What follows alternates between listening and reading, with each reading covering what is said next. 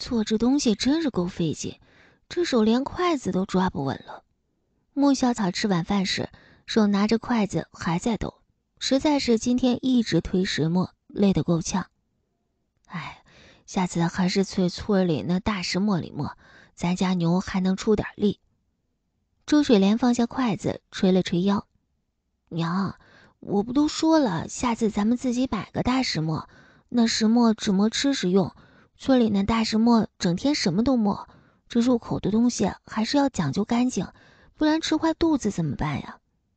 木秀也是觉得累坏了，下次一定不能这样了。第二天，大家都起了个大早，木秀张罗着蒸上了一大锅的红豆，做成了红豆泥。周水莲和穆小草两人将糯米粉用手揉搓至面团光滑柔软之后，就开始包汤圆了。只见周水莲捏下一小块糯米团，双手搓圆，压成饼状，将馅料添入，顺便包起，将包好的汤圆放在手中搓圆，一个汤圆就包好了。根据不同的馅料包好之后，放入不同的盆子里。木秀和穆小草也包得飞快。隔壁的陈家大娘也被叫来一起包汤圆。陈旭辉看起来人高马大的，但是看了一会儿，也有模有样的坐下来包了起来，竟然包的还不错。人多力量大，几个人用了两个小时就包出来九十多斤的汤圆儿。行了，今天就包这些拿出去卖。木秀看看时间，已经九点多了，我来装好。周水莲站起来。拿出蒸笼布，将盆子盖好。木水、陈旭辉将这些一起拿到牛车上。娘，你和陈大娘继续把剩下的全部包好。如果有空闲时间，再炒点芝麻和花生。等明天咱们送到县城我姨那儿。木秀对周水莲说道：“行，我先给你们下点面。”周水莲转身到了灶台，不一会儿面就下好了。木小草、木水。木秀、陈旭辉四人一人一碗面，上面打了个荷包蛋，呼哧呼哧的吃完，就赶着牛车去附近最大的集市上去了。哎，你们听到什么没？木秀忽然支起耳朵，他好像听到有人在喊周水莲。没有，怎么了？陈旭辉也细细的听了一下，什么都没听到。没事，可能是风吹的声音大，听错了。今天是第一次逢集，乡间小道上密密麻麻都是人。木秀他们很是艰难的才到了集市里，不过还是来晚了。集市里早就都是人了，几人赶着牛车，好不容易才挤到了中间的位置。集市里卖什么的都有，店铺林林总总，各色各样的人都有，货物也都齐全，琳琅满目。木秀眼尖，寻得了一处只能摆放一张桌子的空位，急忙站好。陈旭辉很默契地将牛车上的桌子搬了下来，见缝插针的奔向木秀，将桌子放好。后面的木水寻地方将牛拴好，木秀他们将在家里包的汤圆摆了出来。以前元宵节大家吃的汤圆，无外乎就是黑芝麻馅的，而且每个人能分到一两个就不错了。毕竟黑芝麻和糯米还是很贵的。木秀这次做的是豆沙馅儿、花生馅儿、桂花冰糖馅儿、蜜枣馅儿的，还有咸口味的火腿五仁馅儿。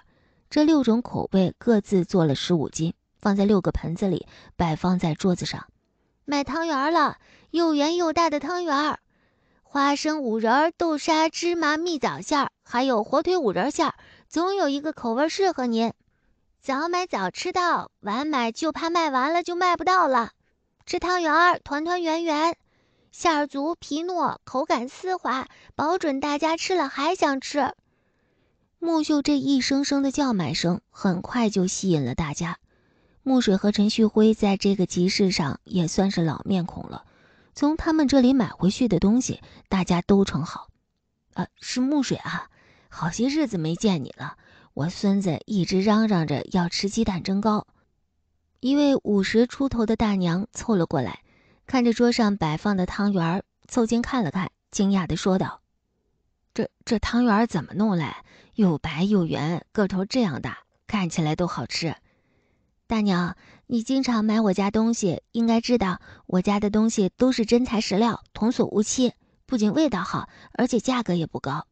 木秀笑着说道：“这倒是，每次买你家的东西回去尝尝，味道真是不错。这汤圆多少钱一斤啊？”大娘点了点头。她每次来赶集，看到木水的摊位，都会买点东西回去。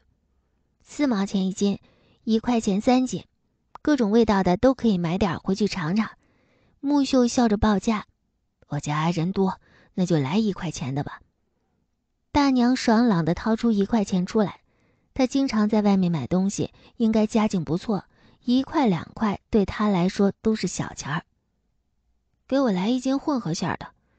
这会儿，以前的老主顾看到是木水摆摊了，纷纷上前购买。大家的好奇心都很强。看到哪个摊子人多，哪怕是没吃过、没买过，排队也要买回来尝一尝。不一会儿，摊子前就挤得都是人了。很快，带来的九十多斤汤圆就全部卖完了。这会儿才到了下午的一点。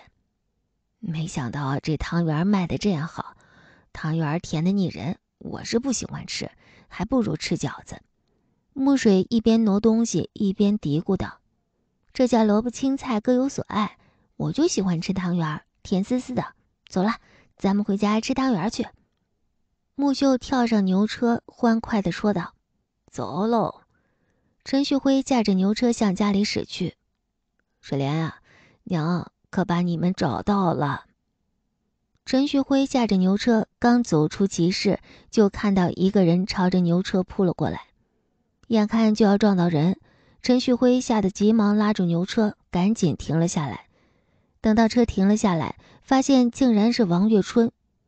王月春拦住了牛车，定睛一看，却没有看到周水莲，他脸色不由得难看了起来。你你想干什么？穆小草站在马车上，一脸警惕地看向王月春。小草，你带我回去找下你娘吧。你们那村儿，我们真是进都进不去呀。王月春想着这些日子来，他们只要一踏进鹦鹉村，就被穆家的那几个男丁给赶出来，就觉得心酸的想要大哭一场。